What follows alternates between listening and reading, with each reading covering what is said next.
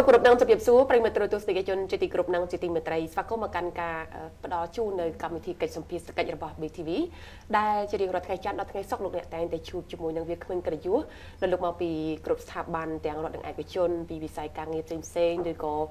ជាប្រធានក្រុមហ៊ុនដែលគាត់មានបទពិសោធន៍ទៅលើកិច្ចការងាររកស៊ីប្រកបអាជីវកម្មផ្សេងផ្សេងហើយលោកលោកចូលខ្លួនមកចែករំលែកនៅចំណេះដឹងទាំងអស់នេះជូនទៅដល់ប្រិយមិត្តទស្សនិកជន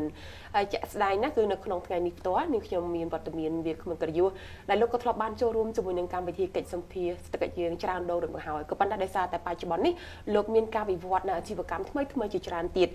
ចង់ដឹងថាតើអាជីវកម្មនោះសំខាន់បែបណានេះខ្ញុំសូមជម្រាបជូនផ្ទាល់តែម្ដងថាថ្ងៃនេះយើងនិយាយអំពីសេវាកម្ម ការផ្ដល់នៅការបញ្ចាំឬក៏សេវាកម្មហាងបញ្ចាំនៅកម្ពុជាដោយសារតែបច្ចុប្បន្ននេះគឺសេវាកម្មហាងបញ្ចាំនៅកម្ពុជាជាពិសេសនៅរាជធានីភ្នំពេញមានច្រើនមែនទែនក៏ប៉ុន្តែមានហាងបញ្ចាំមួយចំនួនក៏បានធ្វើឲ្យមានបញ្ហាកើតឡើងនៅការអសន្តិសុខនៅក្នុងសង្គមព្រោះតែគាត់បង្កើតឡើងដោយគ្មានច្បាប់ទម្លាប់ដូចជាដើមនោះលោកអកញ្ញាភិរមវិចិត្រតារាដែលជាភាគទនិកនៃក្រុមហ៊ុនហាងបញ្ចាំ FTCAS Express ដែលលោកនឹងបកស្រាយបន្ថែមទៀតថាតើសេវាកម្មហាងបញ្ចាំនៅកម្ពុជាយ៉ាងណាដែរហើយការបង្កើតសេវាកម្មបែបនេះនឹងផ្ដល់អត្ថប្រយោជន៍អ្វីខ្លះជូនទៅដល់ពលរដ្ឋវាអាចនឹងមានផលអវិជ្ជមានយ៉ាងណាដែរប្រសិនបើមិនមានការចូលរួមបានត្រឹមត្រូវពីសំណាក់ម្ចាស់ហាងបញ្ចាំនានានៅក្នុងប្រទេសកម្ពុជានោះកាន់តែច្បាស់អំពីប្រធានបទនេះនាងខ្ញុំសូមស្វាគមន៍វត្តមានវាគ្មិនកិត្តិយសតែម្ដងចាសូមជម្រាបសួរលោកអញ្ញាចាអរគុណសម្រាប់ការចូលរួមជាមួយនឹង BTV ជាបន្តបន្ទាប់ជាពិសេសនៅក្នុងថ្ងៃនេះដែលនាងខ្ញុំបានដឹងថាលោកអញ្ញាគឺចាប់ផ្ដើមបង្កើតនៅក្រុមហ៊ុនថ្មីមួយទៀតពាក់ព័ន្ធជាមួយនឹងសេវាកម្មហាងបញ្ចាំអញ្ចឹងជាសំណួរដំបូងថាតើហេតុអ្វីបានជាលោករវល់កិច្ចការងារច្រើនទៅលើការប្រកបរបរផ្សេងផ្សេងប៉ុន្តែបែរជាបន្ថែមរបរបង្កើតនៃសេវាហាងបញ្ចាំនេះឡើងបាទអរគុណនៅសំណួរដ៏ល្អនេះតាមពិតទៅខ្ញុំធ្វើទៅលើអចលនទ្រព្យហើយយើងក៏ធ្វើទៅលើសេវាបញ្ចាំផ្សេងទៀតដែរហើយហើយមូលហេតុដែលខ្ញុំចាប់យកសេវាបញ្ចាំបើក្រុមហ៊ុនបញ្ចាំនេះដូចខ្ញុំមើលឃើញថាពីតម្រូវការនៃបងប្អូនដែលគាត់មានតម្រូវការក្នុងការប្រើប្រាស់លុយពេលលឿន បាទលឿនហើយជាដំណោះស្រាយមួយដែលអាចជួយដោះស្រាយដល់បងប្អូនដែលគាត់ធ្វើអាជីវកម្មទូចទូចជាពិសេសហាងបញ្ចាំដើរតួនាទីយ៉ាងសំខាន់ដើម្បីជួយសេដ្ឋកិច្ចជាតិក្នុងការជួយបង្វិលសាច់ប្រាក់រយៈពេលខ្លីដល់បងប្អូនដែលគាត់ធ្វើអាជីវកម្មលក្ខណៈធុនទូចដែលมันមានឯកសារច្បាស់លាស់ហើយបងប្អូនដឹងស្រាប់ហើយថាអ្នកដែលគាត់រកស៊ីតាមផ្សារមួយចំនួនគាត់អត់មានឯកសារបញ្ជីចំណូលចំណាយច្បាស់លាស់ដែលទទួលស្គាល់ដោយស្ថាប័នធនាគារណាទេអញ្ចឹងគាត់ពិបាកក្នុងការប្រើប្រាស់លុយរយៈពេលលឿនអញ្ចឹងយើងបង្កើតសេវាកម្មនេះមកដើម្បីជួយសម្រួលដល់អ្នករកស៊ី ជាពិសេសគតិជនគោលដៅយើងផ្ដោតទៅលើអ្នកដែលគាត់ធ្វើអាជីវកម្មទូចទូចដែលគាត់ត្រូវការលុយប្រើប្រាស់រយៈពេលលឿនដើម្បីឲ្យគាត់ធានាបានភាពចំណេញគាត់ត្រឡប់មកវិញកុំឲ្យបាត់បង់ប្រយោជន៍គាត់តើវាមានភាពខុសគ្នាបែបណារវាងសេវាហាងបញ្ចាំនិងធនាគារឬក៏គ្រឹះស្ថានមីក្រូហិរញ្ញវត្ថុបាទតាមពិតទៅទាំងពីរទាំង3ហ្នឹងគឺយើងតាក់ទងនឹងវិស័យហិរញ្ញវត្ថុដូចគ្នាក៏ប៉ុន្តែវាមានរបៀបនៃការផ្សេងផ្សេងគ្នាខ្ញុំលើកឧទាហរណ៍ថាវិស័យធនាគារវិស័យមីក្រូហិរញ្ញវត្ថុគឺគាត់ផ្ដល់សេវាកម្មកម្ចីដូចគ្នាក៏ប៉ុន្តែគាត់ទៀមទាសិក្សាទៅលើ ការចំណូលចំណាយច្បាស់លាស់ទៀមទាទៅលើឯកសារចំណូលចំណាយច្បាស់លាស់ហើយក៏ទៀមទាទៅលើប្លង់កម្មសិទ្ធិដែលបានដាក់បញ្ចាំនោះគឺមានភាពច្បាស់លាស់និងមានការផ្ទេរផ្ទូដូច្នេះហើយតកតងនឹងរបៀបនេះដែរតកតងនឹងហាងបញ្ចាំគឺយើងធ្វើការលឿនឧទាហរណ៍ថាគាត់ត្រូវការលុយភ្លាមភ្លាមអញ្ចឹងគាត់អាចតកតងមកហាងបញ្ចាំគឺយើងបង្វិលបានសាច់ប្រាក់ភ្លាមភ្លាមពីព្រោះកាលណាបើសិនបើយើងបដោតទៅលើមិនមែនជាហាងបញ្ចាំទេយើងបដោតទៅលើធនាគារគាត់ត្រូវការប្រើប្រាស់លុយ នៅពេលនោះធ្វើឲ្យគាត់មានការចំណាយពេលវេលាយូរឧទាហរណ៍ថាដើម្បីទៀមទា approve ដើម្បីគេឆែកឯកសារយ៉ាងហោចបំផុតក៏ត្រូវការចំណាយមួយសប្តាហ៍ទៅពី3ខែដែរតាមរយៈប្រភេទធនាគារដូច្នេះធ្វើឲ្យគាត់ត្រូវការបង្វិលតំណែងលឿនលឿននោះវាបាត់បង់អត្ថពេលវេលាថាប្រយោជន៍អញ្ចឹងខ្ញុំឧទាហរណ៍ថាឧទាហរណ៍ថាគាត់មកគាត់នៅរកស៊ីតាមផ្សារគាត់ត្រូវការលុយភ្លាមភ្លាមតំណែងគាត់មកដល់គេ delivery មកដល់កន្លែងតែគាត់ខ្វះខាតចរន្តសាច់ប្រាក់ដើម្បីយកតំណែងនោះផ្គត់ផ្គង់អតិថិជនផ្សេងទៀតតាមផ្សារហ្នឹង ដូច្នេះគាត់អាចមករកសេវាកម្មខាងបញ្ចាំដែលចំណាយពេលត្រឹមតែ1ម៉ោងចុះក្រោមឬក៏2ម៉ោងតាមប្រភេទតំណែងដែលគាត់ត្រូវការបញ្ចាំហ្នឹង1ម៉ោងឬ2ម៉ោងប៉ុណ្ណោះគាត់នឹងអាចទទួលបានសាច់ប្រាក់ដើម្បីយកដោះដូរនឹងវិលតំណែងនឹងបានលឿនជាទូទៅសម្រាប់ទ្របដែលដាក់បញ្ចាំភិកច្រើនគឺជាទ្របបែបម៉េចដែរអូជាទូទៅសម្រាប់ហាងបញ្ចាំគឺយើងយកទាំងអស់មានន័យថាទាំងចលនាទ្របទាំងអចលនាទ្របមានន័យថារូបក្នុងនោះផងដែរមានតាំងពីគ្រឿងអលង្ការមានតាំងពីទូរស័ព្ទមានតាំងពីម៉ូតូឡាន យើងមានតាំងពីប្លង់ដីប្លង់ទុនប្លង់រឹងផ្សេងផ្សេងគឺយើងទទួលទាំងអស់ក៏ប៉ុន្តែតកតងនឹងរបៀបនៃការដាក់បញ្ចាំនោះគឺយើងទៀមទាឯកសារនោះគឺស្របបាប់100%មានន័យថាឧទាហរណ៍គាត់យកឡានមកបញ្ចាំគាត់ត្រូវការយកឡានមកបញ្ចាំអញ្ចឹងយើងទៀមទាឆែកឯកសារនោះគឺជាម្ចាស់ដើមពិតប្រាកដឬក៏មានឯកសារពាក់ព័ន្ធពីពាក់ព័ន្ធច្បាស់លាស់ដែលយើងយកឯកសារច្បាស់លាស់អញ្ចឹងតកតនឹងប្លង់ដីឬក៏និយាយចំទៅមានន័យថារាល់តំណែងទាំងឡាយណាដែលគាត់យកមកហាងបញ្ចាំដែលស្របបាប់របស់យើងនេះគឺទៀមទាឯកសារច្បាស់លាស់ប្រភពដើមច្បាស់លាស់ទៅយើងទទួល ចាអមានការលើកឡើងមួយចំនួនថាកន្លែងប្រចាំប្រៀបដូចជាកន្លែងដែលទទួលផលចោរកម្មឬក៏ការសហការគ្នាបង្កើតឲ្យមានអំពើអសន្តិសុខមួយចំនួននៅក្នុងសង្គមសម្រាប់លោកផ្ទាល់នៅពេលដែលបង្កើតនៅហាងបញ្ចាំមួយដែលលោកបញ្ជាក់ខាងដើមហើយថាជាហាងបញ្ចាំមួយដែលស្របច្បាប់វាមានលក្ខណៈផ្ទុយគ្នាបែបណាហើយហាងបញ្ចាំវាអាចនឹងផ្ដល់ផលអវិជ្ជមានដែរទេទៅដល់សង្គមកម្ពុជា បាទជាការពិតបើសិនបើនិយាយហាងបញ្ចាំមួយមួយនៅក្នុងផ្នត់គំនិតប្រជាពលរដ្ឋខ្មែរយើងគឺគាត់មើលឃើញថាជាកន្លែងមួយដែលញ៉ៃញ៉ៃដែលផ្ដល់ដែលចេះតែទៅយករបស់ដែលដែលចង់និយាយថាអាចថាយករបស់ចោលអញ្ចឹងទៅមកយករបស់ចោលយករបស់ដែលអត់ប្រភពច្បាស់លាស់អញ្ចឹងទៅដូច្នេះកន្លែងនេះហើយដែលខ្ញុំក្នុងនាមយើងជាអ្នករកស៊ីដែលស្របច្បាប់ជាពិសេសយើងរកស៊ីដើម្បីជួយសេដ្ឋកិច្ចជាតិនោះគឺយើងបដោតកន្លែងហ្នឹងសំខាន់ជាងគេបំផុតបាទអញ្ចឹងបើកាលណាគាត់អតិជនដែលគាត់ទៅប្រចាំនៅហាងប្រចាំដែលអត់មានប្រភពច្បាស់លាស់ឧទាហរណ៍ផលិតផលគាត់ល្អហើយបានគាត់ល្អហើយគាត់យករបស់គាត់ល្អ គាត់យកទៅប្រចាំនៅកន្លែងដែលអត់មានប្រភពច្បាស់លាស់ប៉ុន្តែអតិជនផ្សេងទៀតយករបស់អត់ល្អយកទៅប្រចាំអញ្ចឹងធ្វើឲ្យសមត្ថកិច្ចគាត់ចុះទៅតាមដាមឬស៊ើបអង្កេតអញ្ចឹងគាត់អាចរឹបអូសដកហូតយកមកទុករក្សាទុកផុសតាំងសិនអញ្ចឹងវាបាត់បង់ទាំងអត្ថប្រយោជន៍របស់យើងដែលយើងស្របបាប់យកដាក់ប្រចាំនេះនេះគឺជារឿងមួយដែលបង្កអសន្តិសុខមែនទែនសម្រាប់ហាងបញ្ចាំស្របបាប់យើងខ្ញុំគឺយើងសហការជាមួយនឹងសមត្ថកិច្ចប្រសិនបើករណីយើងមើលឃើញពីករណីសង្ស័យណាមួយដែលជាករណីសង្ស័យឬសមត្ថកិច្ចជួនដំណឹងថាមានករណីសង្ស័យណាមួយគឺយើងសហការមួយគាត់ផ្ដល់ដំណឹងទៅគាត់ ទី1ទី2ក្រុមហ៊ុនស្របបាប់គឺយើងដើរតួនាទីសំខាន់នៅក្នុងការជួយសហការជាមួយសមត្ថកិច្ចពង្រឹងសន្តិសុខ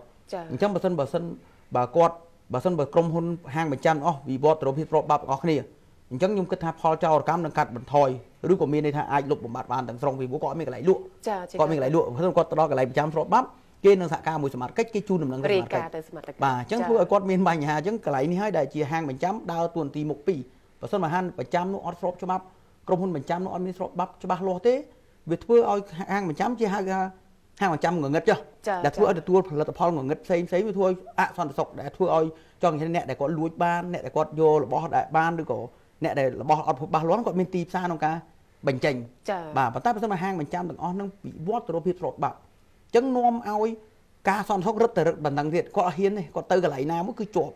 តែគាត់ទៅកន្លែងណាអត់ច្បាស់លាស់ទៅកន្លែងណាគេមានច្បាស់លាស់របស់គេគឺទៅ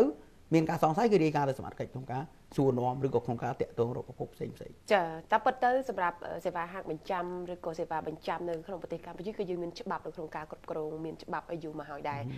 សម្រាប់លោកជាម្ចាស់ឬក៏ជាភាគទុននឹកនៅក្នុងការបង្កើតនៅហាងបញ្ចាំ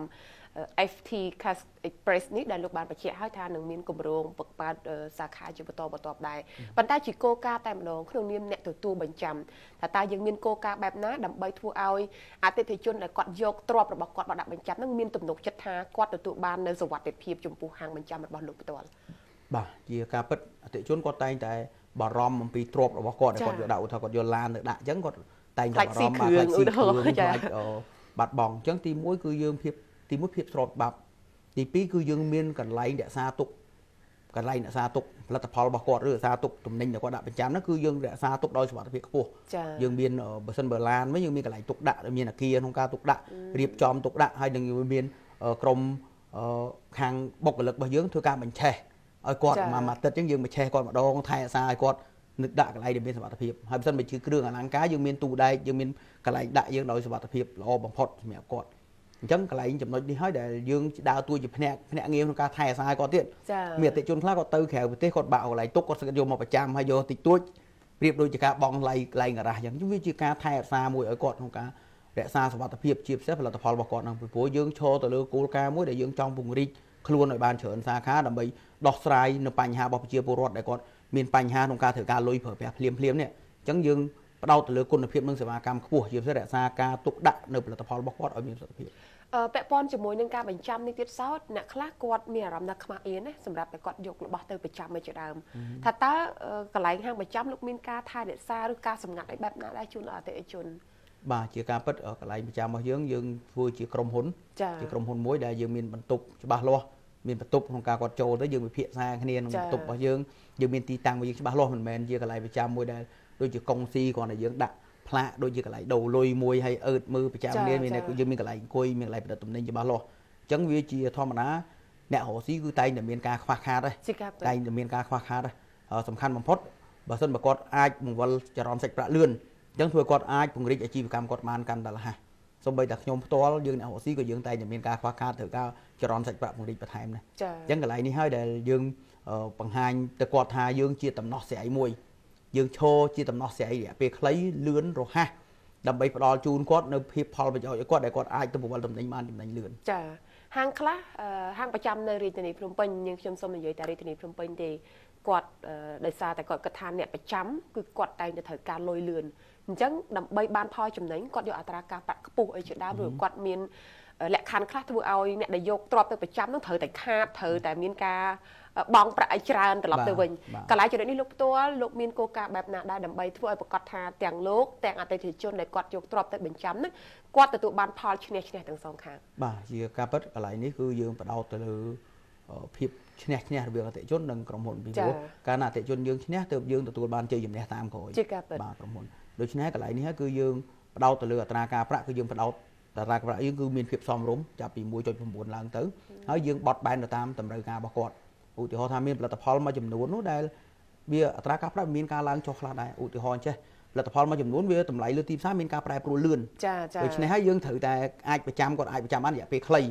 គាត់មិនអាចឧបមាថាឥឡូវគាត់យក iPhone មួយមកប្រចាំ1500ដុល្លារហើយប្រចាំរយៈពេល3ឆ្នាំ2ឆ្នាំឧទាហរណ៍អញ្ចឹងណាអញ្ចឹងមានន័យថាព្រួយតម្លៃវាប្រែប្រួលលឿនមែនទូរស័ព្ទហ្នឹងបើទុកតែមួយឆ្នាំក៏ឆ្នាំហើយវាអាចធ្លាក់ខែក្រោយវាអាចធ្លាក់តម្លៃអាចធ្លាក់លឿនអញ្ចឹងដូច្នេះយើងរយៈពេលក៏យើងត្រូវបត់បែនទៅតាមហ្នឹងហើយអត្រាការប្រាក់ក៏យើងបត់បែនទៅតាមផលិតផលគាត់ដែលមានការធ្លាក់ចុះដែរផលិតផលខ្លះវានៅតម្លៃនឹងលើទីផ្សារដែលយើងធានាបានហើយយើងក៏ទុកចិត្តគាត់ក៏ទុកចិត្តបាទឬក៏យូរទៅអាចឡើងថ្លៃទៅ ដូច្នេះអត្រាការប្រាក់យើងក៏ធូរតាមនឹងរយៈពេលរបស់យើងក៏យើងចាត់ចែងរយៈពេលយូរតាមនឹងប៉ុន្តែជាការពិតអ្នកដែលមហោសេវាកម្មប្រចាំហ្នឹងគឺភាគច្រើនគាត់ត្រូវការប្រើប្រាស់លុយលឿនបង្វិលលុយលឿនដើម្បីបង្វិលតំណែងលឿនហើយបើមិនគាត់ត្រូវការពេលយូរក៏យើងណែនាំគាត់ទៅរកធនាគារដែរយើងអាចបានការប្រាក់ធូរថ្លៃសមរម្យឬកំឡុងពេលគាត់ប្រចាំយើងគាត់អាចរកធនាគារបដាបដាដើម្បី បធូរបថយរបស់គាត់ក្នុងការក្នុងការចាត់ចែងរបស់គាត់រយៈពេលជាទូទៅតែម្ដងតាមផ្លូវច្បាប់ឬក៏ការកំណត់របស់ក្រុមហ៊ុនថាតើយើងអាចទទួលទ្រព្យបញ្ចាំនឹងនៅក្នុងរយៈពេលកងត្រាឬកិច្ចសន្យាប្រហែលខែដែរយ៉ាងយូរ ជាទូទៅយើងគិតថាពី3ទៅ6ខែបាទ3ទៅ6ខែយើងនឹងជជែកគ្នាម្ដង3 6ខែចែកគ្នាម្ដងប៉ុន្តែអតិជនដែលប្រចាំយើងសពថ្ងៃនេះគឺភាគច្រើនគាត់ត្រូវការតែមួយអាទិត្យ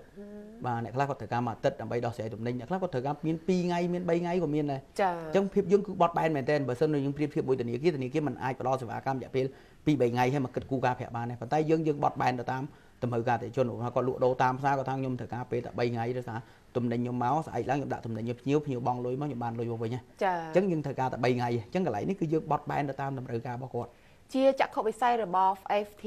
Cash Express តើនឹងបង្កើតសាខាបែបណាដែរឬក៏ពង្រីកខ្លួនបែបណានៅក្នុងឆ្នាំ2020នេះ